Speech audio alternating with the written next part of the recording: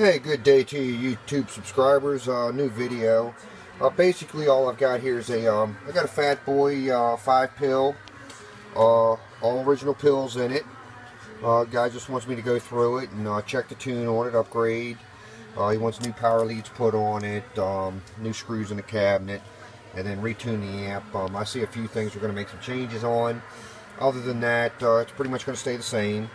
But uh, we're going to replace the chokes in it, replace the uh, micas in the back, uh, get these out of here, get some metals in there, um, do a couple other things, and uh, check the tune on it, and we'll be done.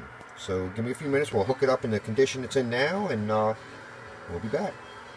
Okay, here we are all powered up, um, 14 volts going into it, uh, one of my Cobra 29s, 1000 watt slug, 1000 watt, Got, uh, I believe it's a 5 watt on reflect. So let's see what we get. Uh, dead key in about 140. Oh, yeah. Hello, hello, hello, audio. It's about 320 out of it. We'll be back after we update it. Alright, back to the FatBoy 5 pill. Did a few little upgrades to it.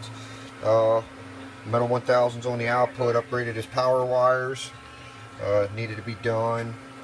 Uh, put the standard 3 wrap chokes on it. Uh, changed the output capacitance on it a little bit, not much. Uh, it was it was very close to where it needed to be.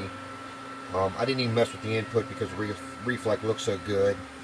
Still on our 14 volts, still on the same radio, still 1000 watt slug. Haven't touched anything. First time firing it up uh, since I did the repair, so let's see if it make, makes a difference. Okay, still about our 140 dead key. Oh, yeah. Hello, hello. One, one, one, one, one, one. Audio. Reflect. Oh, yeah. Oh, yeah. Hello, hello, hello. Not bad. 400. So we got 80 more bird out of it. Uh, just by making a few subtle changes. I mean, we're not reinventing the wheel here. We're just uh, improving a few parts. That's all.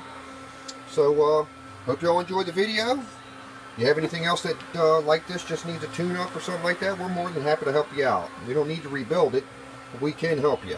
No two doubts about it. Old Stickman at the No Name AFCB shop, and I'm gone.